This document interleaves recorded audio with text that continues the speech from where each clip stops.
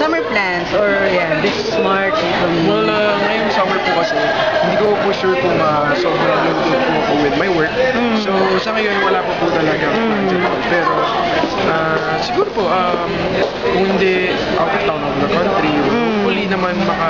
maka-spend ako ng kahit konting vacation with my family or um, You still have communication with uh, Catherine, Daniel, kahit busy kayo. Oo nga, this.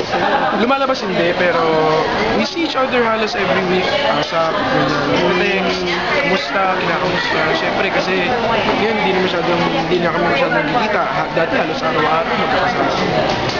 So, ayun, um, napag-usapan na namin before yun. Siyempre, it's sad na wala, natapos na yung princess na yun. Pero, ayun, life goes on. Um, siyempre, we have, we have Of communication. course, guest ka sa concert ni Daniel. Ah, Daniel yan. Oo. Yung tinanong ka na, so part ka Ah, na. yeah. Of course, bawal, di bawal na hindi ako. Hindi ako pa. Sino ba yung gusto, ni-launch kayo, being circle, yung sa circle, sino yung gusto mo makatrabaho na dito sa kapamilya? Kung sakaling bigyan ka ng Sa chance. circle namin.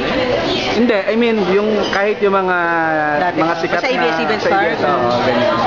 Wala, wala, wala naman talaga akong pinamata na gusto ko. Ano, pero, pero syempre, kahit naman po sinong veteran na matagal na, syempre, I mean, to work with them is a great honor sa akin. I mean, to work with uh, Tita Gretchen and Tito Albert pa lang, di ba? Grabe, I mean, Oo. yun yung first acting stint ko, first acting show ko. Tapos yun, nakasama ko sila. Kasama ko si Tita Gretchen na dati napapanood ko lang sa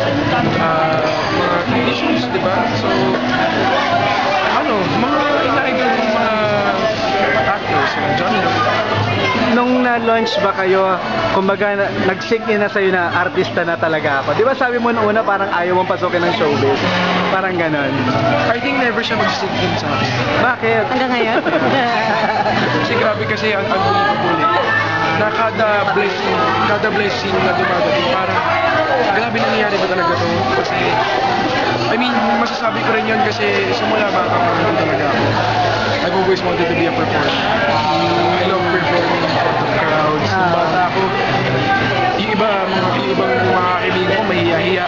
Ako kakanta ako sa mga, nalala ko nung bata ako, kakanta ako sa, ano, sa graduation, ganyan, excited ako, ako kinakabahan. So, ever since bata pa lang kasi ako, I love, Gusto ko yung attention na nakukuha ko nung bata. Pero singing and performing. Pero ngayon, you're an actor, di ba? If you would Acting. choose, if you would choose, If I- or made to choose. Sa ngayon po kasi, if I would choose kung anong purpose ko ngayon, uh, kung anong pagpapasigyan ko ngayon, acting muna. Kasi uh, I just released my first album. So, Ah. medyo... Anong album? Kalil Ramos ko. Kay Shelby. So, hindi naman po pwedeng first album eh, album na kagad bago. So, may may rest yun.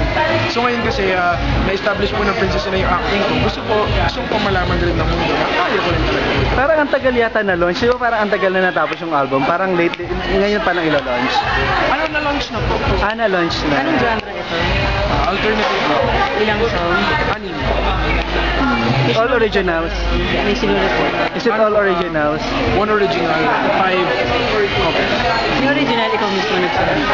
Si Mr. Jonathan.